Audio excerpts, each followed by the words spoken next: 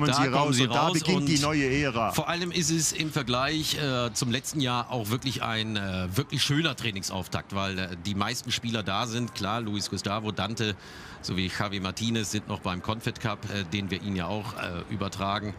Aber äh, die deutschen Nationalspieler sind allesamt dabei. Äh, Ja, Hermann Gerland als ist erster. Jetzt, und da ist der Tiger, der als erstes rauskommt. Auch das ja durchaus ein Zeichen.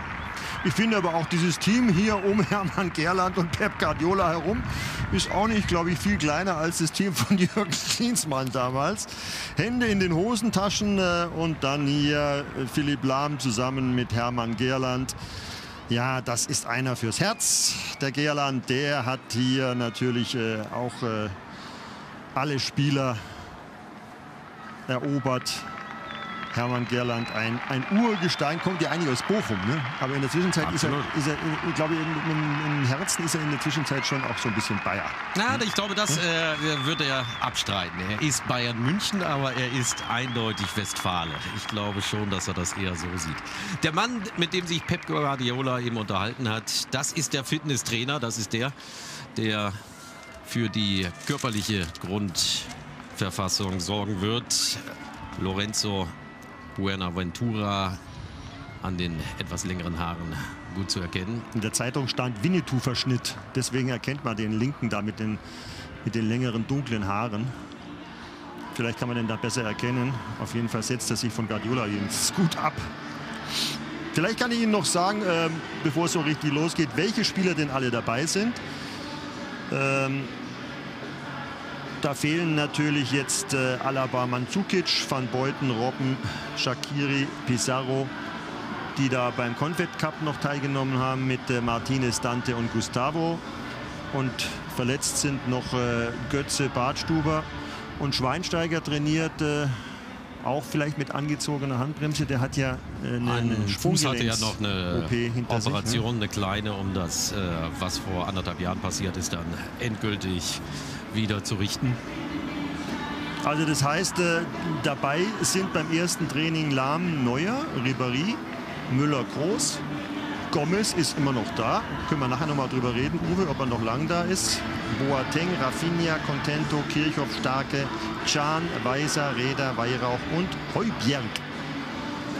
Ja, das ist zum Beispiel einer, der es vielleicht packen könnte, aber der Kader ist natürlich gigantisch. Also Hermann Gerland hat letzt auch im Interview gesagt, dieser Pierre Heuberg, der Däne, das ist normalerweise einer, der es in den früheren Jahren immer geschafft hätte, aber jetzt ist der Kader des FC Bayern halt so exorbitant stark, gerade auch im defensiven Mittelfeld. Äh, aber den habe ich schon vor einem Jahr, habe ich den im Vorbereitungsspiel gesehen. Also der ist immer noch was ist er denn? Ist er jetzt 18? Ich glaube, 18 ist er jetzt. Und äh, nee, im August wird er 18, dieser Schlampige Däne. 18. Und also der sah vom Jahr eigentlich schon aus wie ein 23, 24-Jähriger. Also ist körperlich voll ausgebildet. Das ist ja auch ungewöhnlich. Heute Morgen um 8 Uhr gab es noch einen medizinischen Check hier in äh, München im Krankenhaus äh, Barmherzige Brüder. Das war so in Dreiergruppen. Zweieinhalb Stunden wurden die ganzen Jungs intensiv internistisch durchgecheckt. Also das geht nicht erst jetzt los mit dem Training, sondern es ging heute Morgen schon los um 8 Uhr. Und äh, was wir auch gelesen haben, äh, es gibt in der Zwischenzeit oder in der nächsten Zeit eine Frühstückspflicht beim, beim FC Bayern München. Unter Jupp Heynckes äh, ging es ja meistens los um 10 Uhr das Training. Und äh, bis halb zehn mussten sie spätestens da sein. Und jetzt ist zu hören, dass unter Pep Guardiola die Jungs schon spätestens um 9 Uhr da sein müssen. Und dann äh, gibt es ein gemeinsames Frühstück, weil nämlich der Katalane sehr großen Wert auf die Ernährung legt. Sieht man ja auch schlank, rank, ja, topfit und äh, die Ernährung spielt, glaube ich, im Hochleistungsfußball eine immer größere Rolle. Und deswegen legt der Pep viel Wert auf Kalorien, Vitamine. Wahrscheinlich müssen sie auch mehr Fisch als Fleisch essen.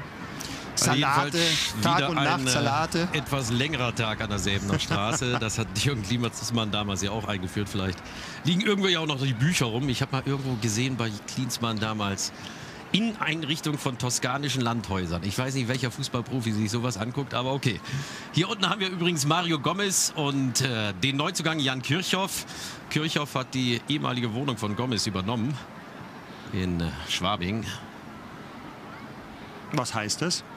Ja, dass er da jetzt wohnt. Nein, nein, äh, heißt aber noch Ja, aber das heißt ist, ja, nicht, dass er ist Gomez. schon ja. einen Tick früher umgezogen, Genau. hat ja eine neue Beziehung und äh, also das spricht jetzt nicht unbedingt zusätzlich dafür, dass er gehen wird, aber ich glaube, das Thema haben wir schon angeschnitten.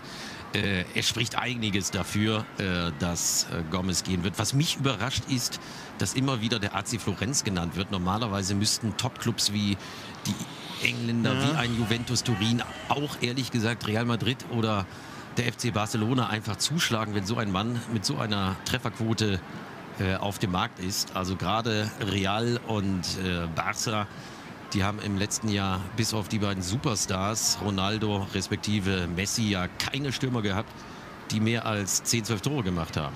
Eintrittszahlen.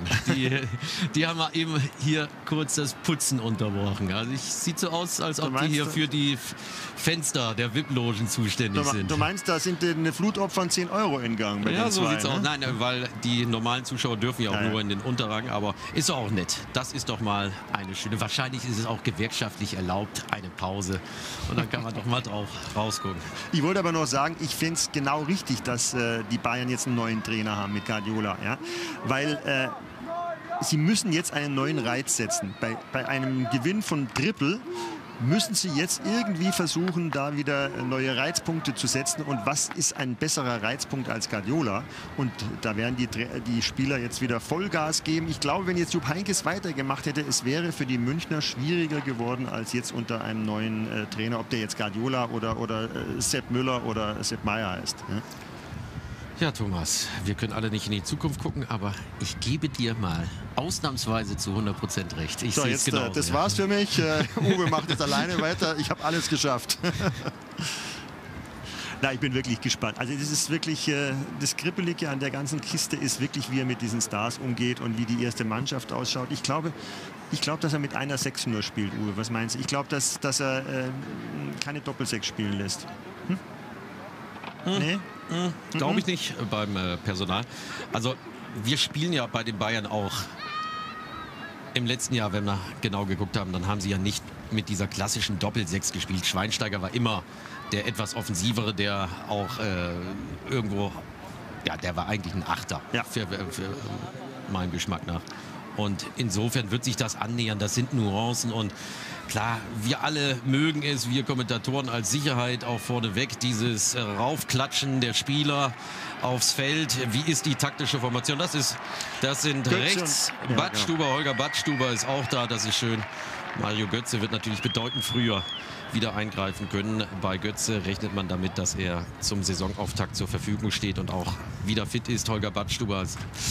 Da muss man einfach die Daumen drücken. Also das ist äh, eine Knieverletzung, die ist bitter, bitter. Er wird insgesamt gut zwei Jahre fehlen und die Weltmeisterschaft 2014 ist für ihn jetzt schon abgehakt. Das ist schlimm, das ist schlimm. Mario Götze hat mit dem Muskelbündelriss diese seltsame Geschichte vielleicht zu früh mit dem Training angefangen wieder, weil er die, die wichtigsten Spiele da noch mitmachen wollte, vielleicht noch das Champions League Finale, Das kann man verstehen, wichtige Spiel, aber, ja.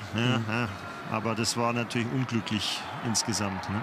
Ja, aber vielleicht ich- eine neue Trainingsform, ich weiß nicht. Also ich war jetzt schon ein paar Mal, ein paar Monate nicht mehr an der Selbener Straße. Aber äh, es heißt ja auch, äh, Pep Guardiola ähm, lässt sich immer wieder was Neues anfallen. Und die spanischen Journalisten haben auch gesagt, sie haben mit den Spielern gesprochen ähm, vom FC Barcelona. Da war kein Training langweilig, immer wieder was Neues überlegt, immer kreativ. Und deswegen sind die äh, Spieler auch immer wieder gerne zum Training gegangen. Das ist ja das A und O irgendwie auch beim äh, Profifußball, dass es nicht langweilig wird. Ja gut, das jetzt entgegenkommen, zurückspielen, das sind Ja. alles kleine Spielformen. Das ist ja auch noch nichts Nein. wirklich ein, zum Einstudieren. Das wird im Trainingslager äh, am Gardasee, glaube ich, dann eine andere Schlagzeile hinter verschlossenen Türen dann teilweise Aber wir, wir müssen ein bisschen aufsaugen. Wir müssen doch gucken, ob wir irgendwas Neues finden hier. Sondern die Leute wollen doch irgendwas Neues sehen. Na zumindest, das ist ja schon mal neu, das ist ja fast grün. Die drei Streifen an der Trainingsjacke. Grün beim Bayern München, also habe ich auch noch nicht Die gesehen. Hoffnung. Ist nicht grün die Hoffnung? Die Aber Hoffnung ein auf nächste Triple. als dieses äh, Tannenwaldgrün da. ganz wichtig und viel Wert legt der Guardiola auch äh, auf den Rasen. Er muss ganz, ganz kurz geschnitten sein, also richtig kurz, muss immer gewässert sein und zwar weshalb, Uwe? Ja, weil dann natürlich technisch bessere Mannschaften äh, sich den Vorteil holen, weil sie mit schnellen Kombinationen dann ja. einfach den Gegner noch besser auseinanderziehen können. Und das haben wir ja gesagt. Er steht auf Dominanz. Er ist das Nou Camp gewohnt das wohl größte Spielfeld, nicht nur größte Stadion Europas, sondern auch größte Spielfeld Europas. Es ist ja riesig, gerade auch von der Breite her. Und das kam damals seiner Spielweise, Ballbesitz, schnelle Kombination mit diesen Iniesta, Xavi und Messi natürlich dann noch zusätzlich entgegen.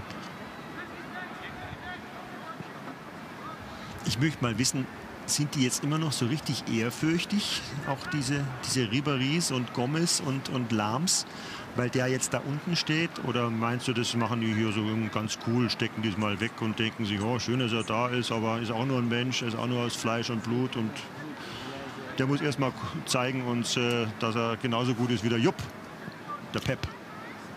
Ich glaube, es ist vor allem Vorfreude. Ich glaube, dass Na. die äh, Spieler wirklich neugierig sind. Was hat dieser Typ drauf, dass er Charisma hat, dass er Ausstrahlung hat. Ich glaube, da sind wir uns alle einig, spätestens seit äh, letzten Montag, als er dann auch auf Deutsch sprach. Ich glaube, das ist das Vorrangigste. Ich glaube nicht, dass sie jetzt nervös sind oder ehrfürchtig. Dazu sind sie zu selbstbewusst. Ein Spieler von Bayern München hat selbstbewusst zu sein und weiß um seine Klasse. Sie sind Champions League-Sieger, Meister, Pokalsieger kein Grund hier irgendwo ängstlich oder ehrfürchtig zu sein, aber diese Neugierde, diese positive Neugierde, das ist, glaube ich, das, was äh, den Kader so ein bisschen durchströmt. Äh, jedenfalls, ich sag mal, so wäre es bei mir, wenn ich, ach, wenn ich es damals geschafft hätte, auf dem Niveau zu kicken. War, war, warst du so in der, in der, Richtung wenigstens ein bisschen nein, oder gar nein, nicht? Nein, Ein guter Amateurkicker wahrscheinlich, ne? Ja, also da, das ging schon. Ey.